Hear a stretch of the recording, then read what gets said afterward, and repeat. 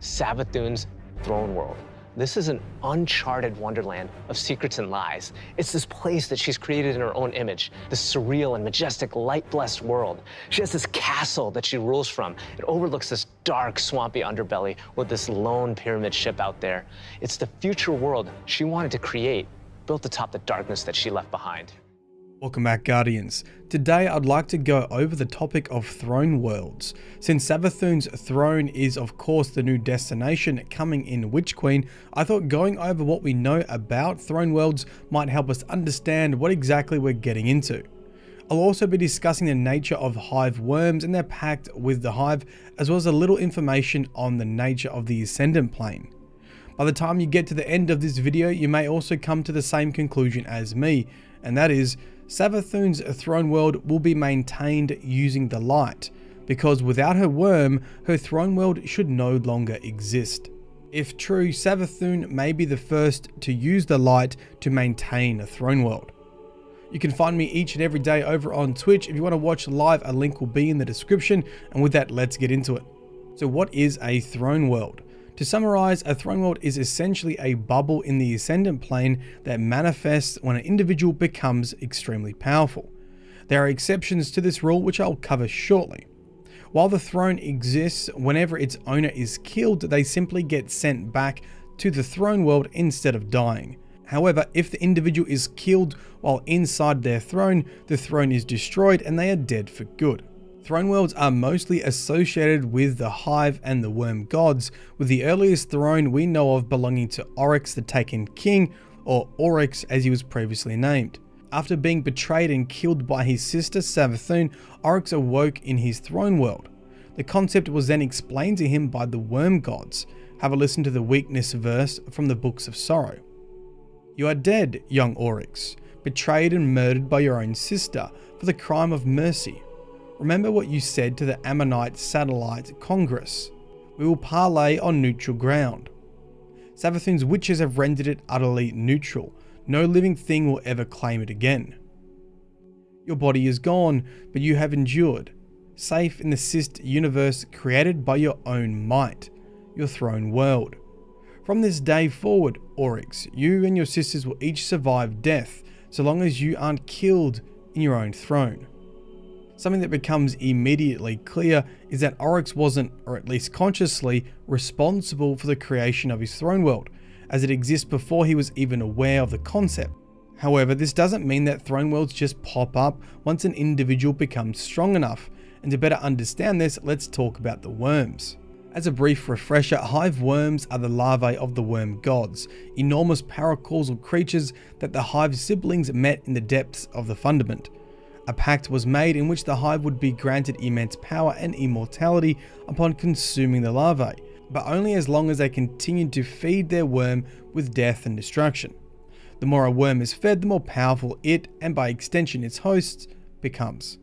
Okay, back on topic. As mentioned earlier, the creation of throne worlds can't be tied to strength alone, or else there would be many, many thrones out there, most notably among powerful guardians. So the hive must have something the rest of us don't in order to maintain their thrones, the most obvious culprit being the worms. We're even told in the books of sorrow that Oryx, Savathun, and Xivu's worms are partially responsible for the creation of their throne worlds. Have a listen to the entry An Incision, in which the hive gods begin to explore and understand their thrones. It reads, Three kingdoms grew swollen in the sword space. They were the gaze and glory of Oryx, the cunning and knowledge of Savathun, the triumph and brawn of Xivu Arath. These kingdoms were created from the minds and worms of our lords. Saith Oryx, This is where I went when I died. Let us establish our thrones here, for I am Oryx, the first navigator, and I shall chart death, and my throne shall be carved of osmium. It's important to note that only the most exceptionally powerful hive have throne worlds, even the daughters of Oryx, despite being older than Crota, did not have their own thrones, as they died on the Dreadnought, Oryx's throne, during the King's Fall raid. So, in the case of the Hive, it would seem that only the most excessively fed worms are powerful enough to manifest a Hive throne world. Before moving on, let's briefly address a couple of outliers that sit outside of this idea that the worms are required for a throne world. First and foremost, we have Mara and her throne world of Eleusiniya, also known as the Shattered Throne. Mara is different from the Hive gods in that she consciously and deliberately built her throne with the help of Riven and Ahamkara and her Techeuns. Have a listen to the lore entry Throne. It reads, Elin made tincture after tincture of queen's foil till her clothes stank and her hands were stained reddish black. Open-eyed, she walked between planes and sorted the threads of reality on a vast metaphysical loom, weaving some closer, some more distant. Mara and Riven shaped her third throne together, and the artistry of their work was a testament to the hungry joy they felt in that partnership. They named it Eleusiniya, and it was in those ascendant halls that Mara finally carved a statue for Sjur. While Ahamkara wishes are capable of many things, and perhaps that's all there is to Eleusiniya, but it is interesting to note a key similarity between Mara's throne and those of the Hive Gods. Both were created through the pacts with an innately paracausal being. In Mara's case, it was Riven, and in the Hive's case, it was the Worms. So perhaps paracausality is required in order to construct a throne world. If this is the case though, why hasn't a Guardian used the light? Is it as simple as we don't need throne worlds because we have ghosts? Or maybe throne worlds are just darkness versions of ghosts? Regardless, moving along, another outlier is the Mindbender, who built a throne world out of Cayde's death during the Forsaken campaign. While it pales in comparison to those of Mara or the Hive gods, it is a throne world nonetheless. Hiraks was obsessed with the Hive and their sword logic, seeking ways to harness it for himself. Throughout the Broodhold strike, we see that before his death, the Mindbender was experimenting on Hive worms by infusing them with ether, so maybe the worms were also essential for Hiraks's throne world. The third and final anomaly is Toland. While not explicitly referred to as a throne world, Toland does have his own little space in the Ascendant Plane. We know this because Mara stumbles upon it while on her journey from Oryx's throne world back to Eleusiniya, after the event of the Taken King. Have a listen to the Reverie Dawn Gloves lore tab, it reads, He tries to speak to her from a place of high contempt. In doing so, he invites her into his topography, she steps out of howling and finds her footing upon a plane of swords and madness and all consuming curiosity. Who are you? The question summons an almost forgotten answer deep within the rapidly solidifying shape of her. I am Mara Sov. Starlight was my mother, my father was the dark. The thing that was once called Toland flees before her darkness, light, shadow, majesty, and she rests within this scrap of a world before resuming her journey through the Howling. Of course, Toland is, or at least was, a Guardian, so he's got the power paracausality covered. However, that can't be all there is to a throne world, or once again, Guardians would have their own thrones, no problem. That being said, people have speculated in the past that our ghosts is a kind of throne world, returning us from death. While all these characters leverage some source of paracausality, whether it's the worms, the Ahamkara, hive worms mixed with ether, there is another component, and this seems to be the secret source, and it's really simple sheer will power and desire. For the longest time, we assumed the Ascendant Plane was a realm dictated by the sword logic. However, thanks to new information from Season of the Lost, we now know this not to be the case.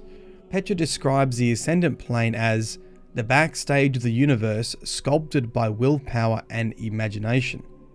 We also get some information from Mara that takes us back to an earlier note about paracausality. Have a listen to this Forest of Echoes data cache from the Shattered Realm activity.